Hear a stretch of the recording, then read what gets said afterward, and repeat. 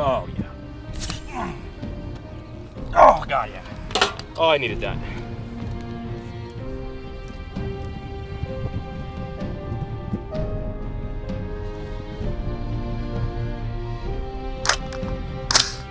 Oh, yeah. Now I'm ready to take on the wasteland.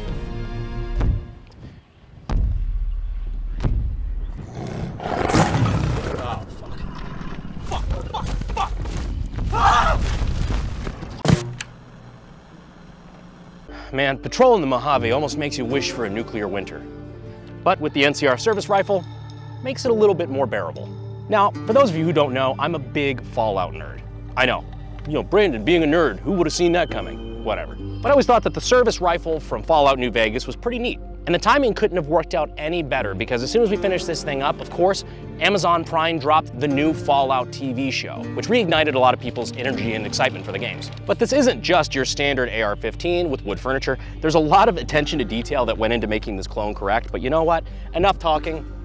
Let's go shoot the damn thing.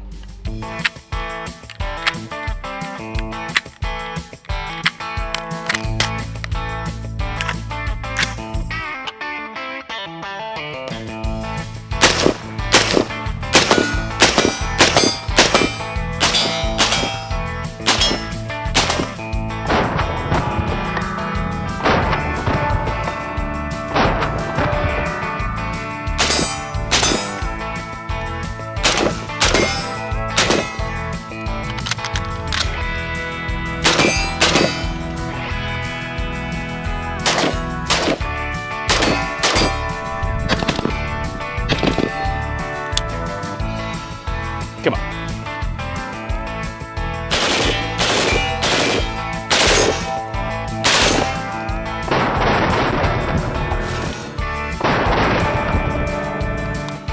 Yeah, uh, we is out of bullets.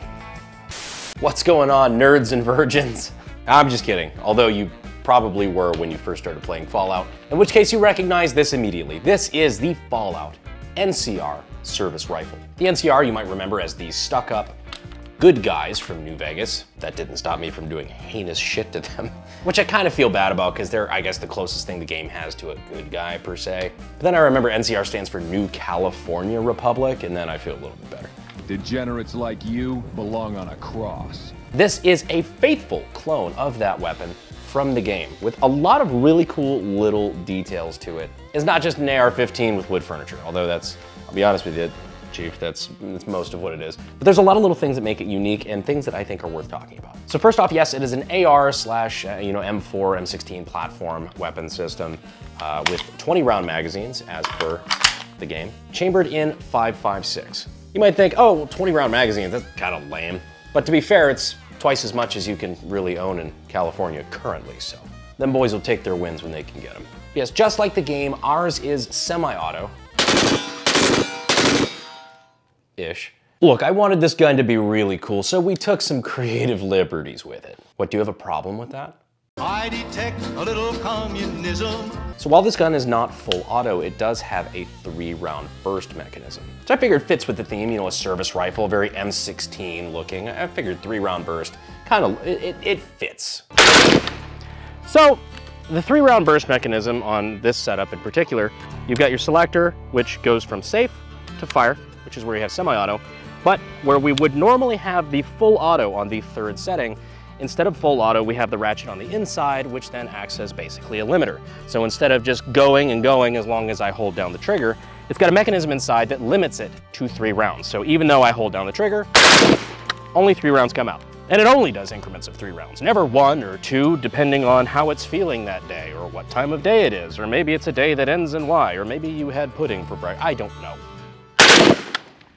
See, not always great. So let's take a look at what exactly that entails. You know, I'm not gonna do a full breakdown on this. You know, it's an AR-15, we've done AR videos before. I've broken down how the operating system, whatnot works. But let's go ahead and pull this apart, pop the pin here, this magazine out of the way. So let's go from safe to semi to, giggle. Let's go from safe to semi, and when we pull this trigger, one round is fired, it resets. I have to let off the trigger to then reset the hammer where the, the hammer is now able to be fired again.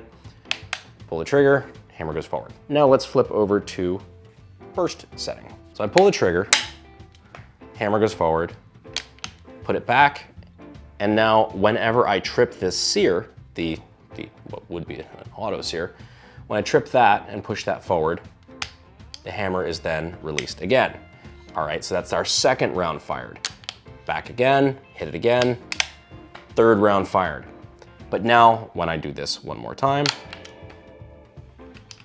the trip or the sear no longer trips and engages the hammer. That's because the burst mechanism down underneath the hammer has caught it. So I have to let off the trigger to be able to then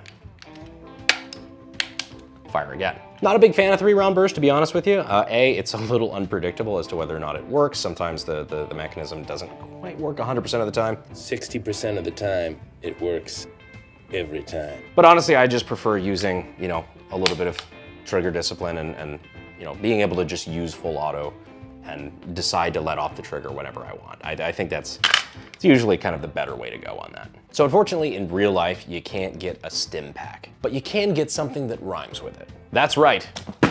TacPack. TacPack is a monthly tactical subscription service that gives you all sorts of cool goodies like tactical swag, tin-coated AR BCGs.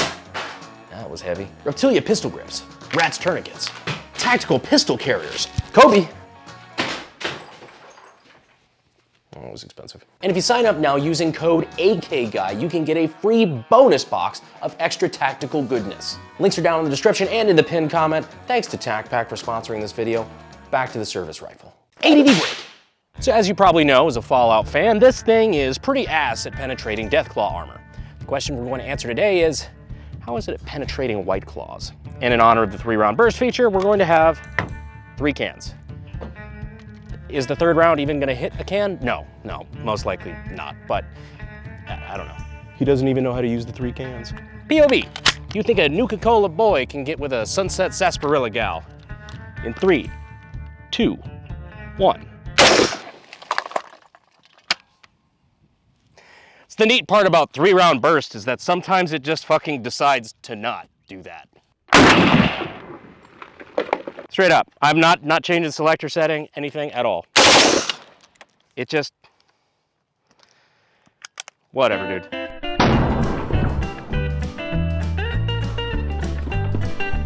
All right, even though it was only one round, we had the Chad Superior 20 inch barrel length. So uh, yeah, it had no problem ripping through all three cans and depositing a lot of muzzle energy. These actually, they all came forward pretty much. This is the base of one of those cans just completely flattened from the amount, of energy being just deposited inside the cans. It's pretty gnarly.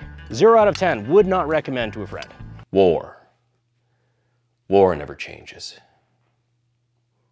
And neither does the fact that you can get your start in gunsmithing and weapons technology at sdi.edu. Links in the description and in the pinned comment. But let's look at all the things that makes this different from its standard AR-15 and what makes this Fallout service rifle. Starting with the most obvious, the wood furniture, this was done by Black Guns Wood, and it looks incredible. It actually feels really good too. As you might know, I've got a bit of an affinity, you know, for, for wood furniture on guns, so this feels right at home for me. You might also notice our muzzle brake here at the end, not exactly your standard A2 bird cage. So just like the game, this muzzle device, instead of being a flash hider, um, doesn't have any holes or vents of any kind.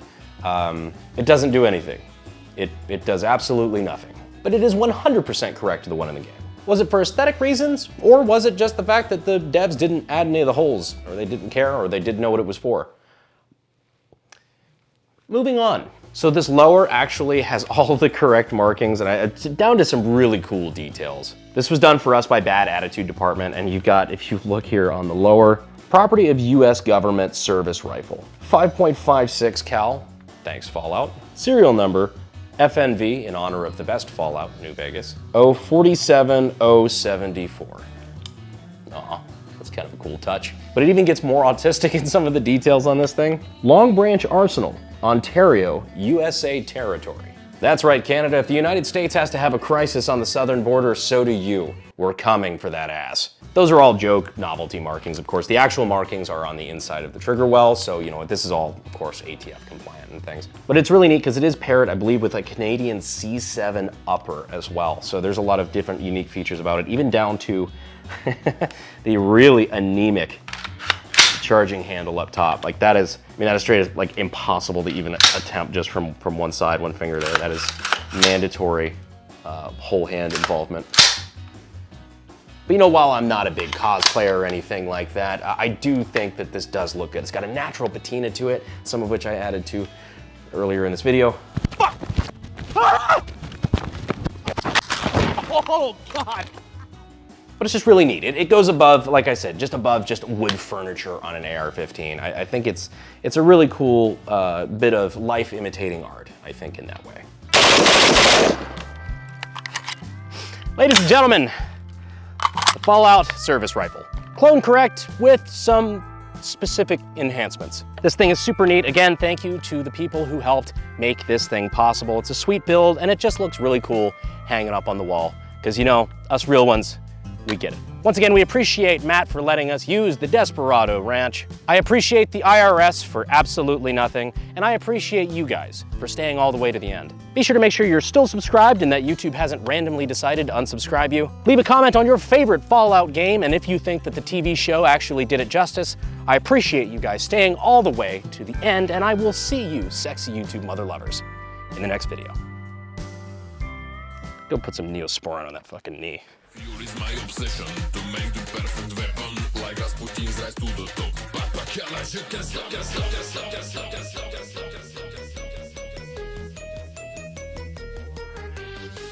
So if you're a Fallout fan, as you probably know, uh, this thing's pretty ass at penetrating dead claw, death claw, fuck me.